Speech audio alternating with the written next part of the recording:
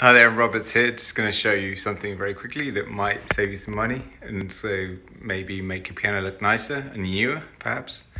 See these pedals here on this piano? It's uh, I'm doing it for clients at Kimball console piano. See the one in the middle? Very rusty, very typical.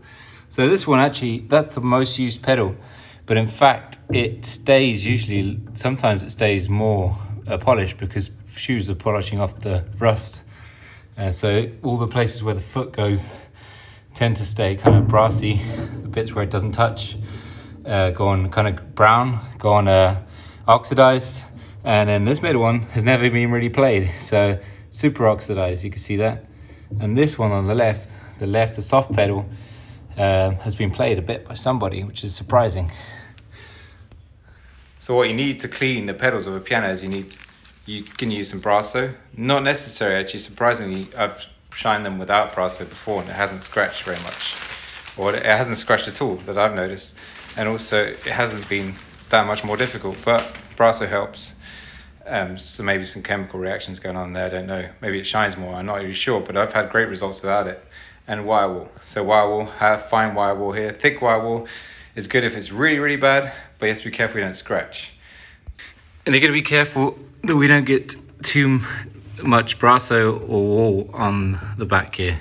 So I'm going to do is I'm going to put a little bit of brasso on this pedal in the middle. I'm in my workshop, no carpets to worry about here.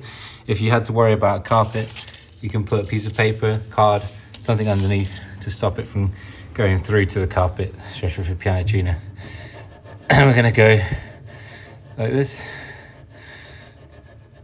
I'm gonna could take the pedals out, but uh, I find it just, it's actually kind of like a vice. The fact that it's secured in the back there is like a vice. Bit of elbow grease here, some Brasso, rub, rub, rub.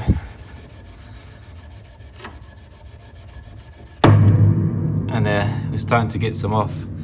See that? That's a, gonna take a very long time. I'll show you after I've done a bit with both hands. Just like that, through the magic of the internet, we have a shiny pedal. And uh, a lot of elbow grease went into that pedal. It, it, needs a tiny bit more on the front. I just want to show you uh, just how nice they come out. I could take off that brass plate around the back if I find um, the screws for that. I don't think it does have screws. So I don't really want to take it off. I'll just be very careful to shine it without damaging it. Thank you for watching this video. Hope You can do this on your own at home. Just be careful not to put any product on the wood and on the carpet because it might not come out. And I've seen that before in the workshop. So thanks a lot for watching. See you next time. My name is Evan Roberts.